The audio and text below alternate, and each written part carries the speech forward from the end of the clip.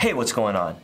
Today we're launching a two-part series on how to select the right Tsurumi submersible pump for your application.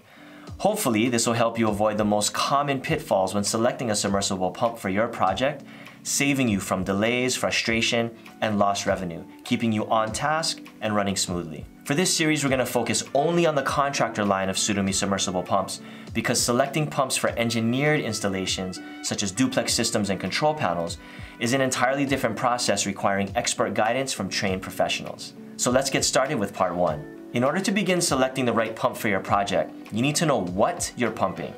Essentially, there are three basic types of submersible pump applications. Type 1, clear water.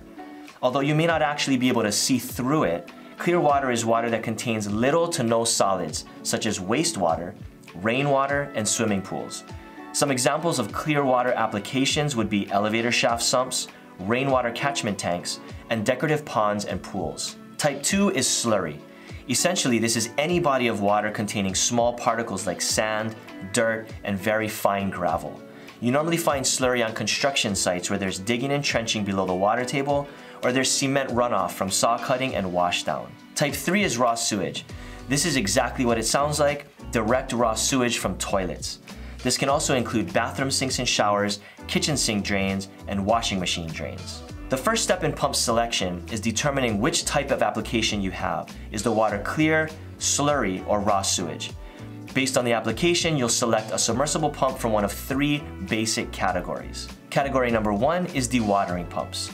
These pumps do exactly what it sounds like they do. They remove water. Dewatering pumps are used for clear water applications such as sumps, pools, and catchment tanks. It's normally pretty simple to spot these pumps because they have an intake screen at the bottom to filter out large particles and debris. These pumps tend to have a top discharge and use flow-through cooling technology to dissipate heat from the motor. This means that the water they are pumping actually flows up through channels in the pump body to capture heat from the motor and carry it out through the discharge. This is how the motor stays cool. It also means that these types of pumps do not need to be fully submerged in order to function. In fact, the Tsurumi LSC 1.4S is a surface level dewatering pump that doesn't need to be submerged at all. Category 2 is trash pumps.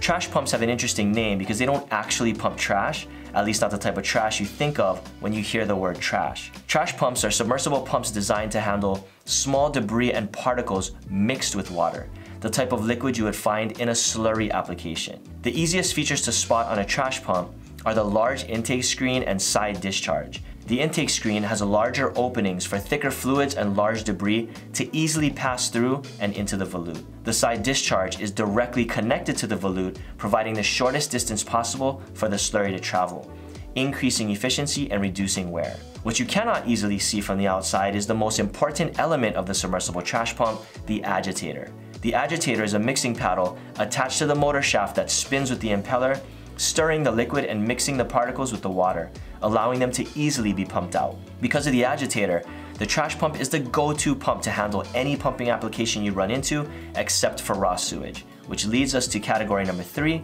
sewage pumps. Raw sewage applications require special handling and submersible sewage pumps are up to the task. Raw sewage contains all kinds of unpleasant solids and waste chemicals, and pretty much anything you can flush down the toilet. The submersible sewage pump is typically cast iron and very heavy, built to thrive in the nastiest environment you can think of. You can spot the sewage pumps quickly because they normally have feet with no intake screen at all, a larger throughlet to allow solids to pass without clogging, and for the most part, they're pretty plain looking.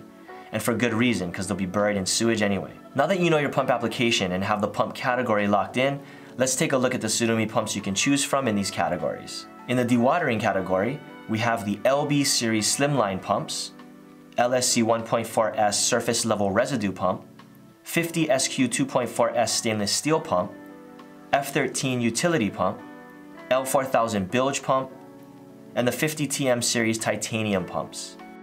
In the trash category, we have the HS series trash pumps and the NK2-15SK high head pump with sand kit. In the sewage category, we have the 50 UT series sewage pumps. Now within these categories, we can break the applications down a little further. For example, are you pumping seawater or water with high chemical content? Are you leaving the pump submersed or will you be removing it after each use? If you're pumping seawater or chemicals and will be removing the pump shortly after use for flushing and cleaning, then any of the dewatering and trash pumps will suffice. However, if you'll be leaving the pump submersed forever, then you'll want the 50 SQ 2.4S stainless steel dewatering pump or the 50TM 2.4S titanium dewatering pump. Titanium would be the ultimate for permanent seawater applications. The 50TM can also handle solids, whereas the 50SQ cannot. We've done videos on all these pumps and I've put the links in the description, so please check them out. In the second part of this series, we'll review how to determine flow rate and head pressure and how to read the pump curve to select the right pump. For more information on this and other pumps in our Tsurumi pump line, visit our website at imperialsalesinc.com. We'll see you on the next one.